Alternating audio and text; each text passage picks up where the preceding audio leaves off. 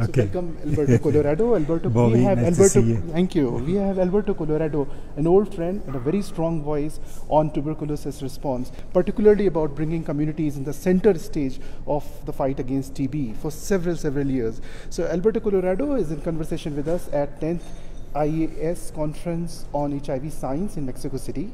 So Alberto, please tell us about the about the mo- most important issues which is uh, which you have in your heart here uh, at the HIV Science Con- Congress. Yes, thank you. And as a part of the also the HIV/AIDS movement, I've been a strong advocate uh, to work together, especially in tuberculosis and HIV. Now that that TB is the, the most important killer of people affected by TB.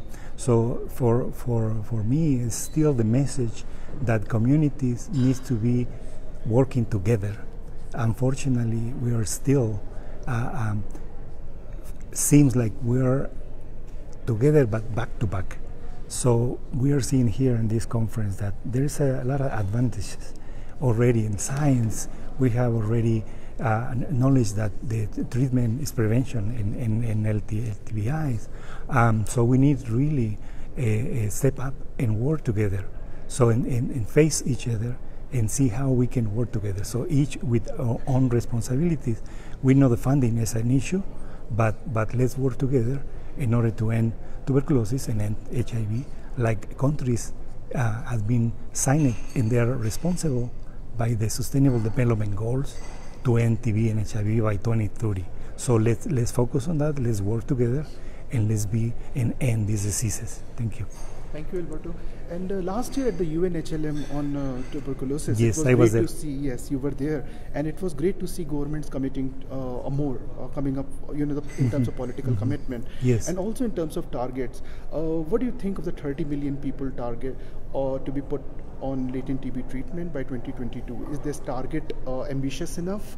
And out of the 30 million by 2022, 6 million people with living with HIV are to be put on um, provided a latent TB treatment.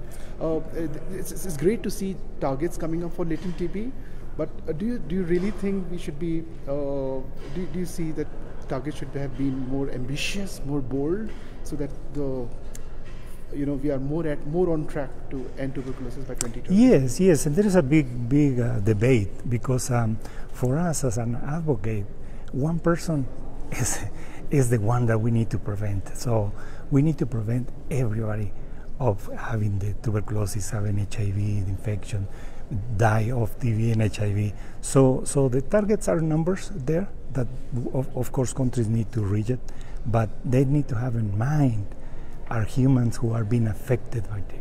So it's not the number; it's the human being that need to be protected, need to be cured, need to be covered with everything in order to prevent these diseases. Otherwise, numbers can be reached, numbers cannot be reached. But if we save one life, we're going to do a lot. Thank you. Absolutely. Uh, uh, before we co- conclude this, uh, we'd like to hear from you. Uh, you have been involved in the fight against tuberculosis and years. really pushing uh, HIV and TB Yes, institutions and agencies to work collaboratively, collaboratively together. Yes. We are at a uh, point in the history uh, where TB and HIV agencies are working perhaps more closely than ever before. Right? Yes, yes. Yeah. Do you see that more should be done because uh, hundreds of thousands of people died of Yes. uh, people living with HIV died of tuberculosis. Mhm. So when we know how to prevent TB, when we know how to treat TB, Exactly. uh, it's it's almost like unacceptable, right? Like uh, people living with HIV or anyone should be dying of Exactly. tuberculosis. Mhm. And uh, so, so, what more should be done so that we can save um, uh, unnecessarily suffering? Yes, I think uh, one of the main things is to be honest, you know, because um, unfortunately, we are, like I said, we still are not looking at each other, no? So TB is killing people with HIV, but we have different agendas that unfortunately we are not, not putting in the same, the same place. So there's opportunities again to, to work together. I've been in this business for many years, so I've been knocking the door when the epidemic started of HIV. I've been in places where, where TB and HIV is, is, is really impacting our communities, but unfortunately, still now competing funding, competing uh, with uh, other issues that uh, trying to uh, cover up all the movements that we did in HIV and TB. So I think it's, it's, uh, it's good to see as uh, the, the universal health coverage and access, but also we need to focus, still focus on those communities who have been affected by, by TB. So, so targeting those who have been ignored, you know, because still in tuberculosis, the issue of human rights, the gender, the key affected population are very new. When, when the HIV community knows where, more or less, where the epidemic is.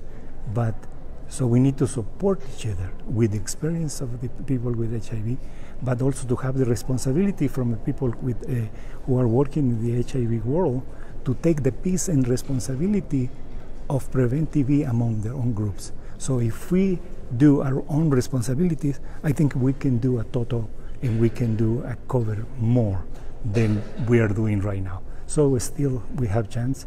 Unfortunately, many people have died and a lot of my closest friends also. But we don't want our children to die of TB or HIV. Thank you. We'll, uh, we'll let you go. I know Thank the you. conference is there, but uh, before we really close, this is really the last question. Since you mentioned about uh, UHC as well, so uh, the UNHLM and UHC is going to happen this September. Yes. There's more attention on UHC. Do you see it as an opportunity or is it uh, not an opportunity to accelerate progress towards ending TB, ending tuberculosis, uh, ending uh, AIDS, and ending Mm-hmm. TB, and other, uh, you know, scaling up intervention for other diseases as well? Mm-hmm. Uh, so how, how do you see this? The, the more attention to UHC, more attention to U- One Health, uh, more attention to uh, integrated health. Mm-hmm. Um, is it happening at the right time when we are talking about uh, ending TB as well, 2030? Yes, at this point, uh, I'm coming from, from the uh, Alma Ata, from the primary health approach and health for all in 2000. Uh, so I know that the integrated approach is there and it needs to be done. Universal health, universal access to health is very important as a human rights issue. So health is a human rights issue that need to be addressed. So yes, indeed, it's an, an opportunity to bring back those ideals of, of health for all, put it in a place, but not to forget, if we are going to see the forest, not to forget the trees, the trees that, in this, this example, HIV and TB. So, not foreseeing the whole picture, we are going to forget the issues that still, after so many years, more in, in tuberculosis, but still need to be addressed.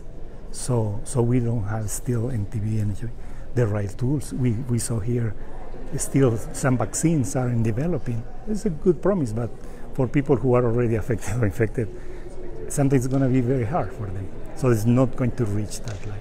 So, so we need to, of course, see the big picture, but never forget our, our main issues that we still have a lot of things to do and need to work on that. Thank you, Bobby. So- A great pleasure.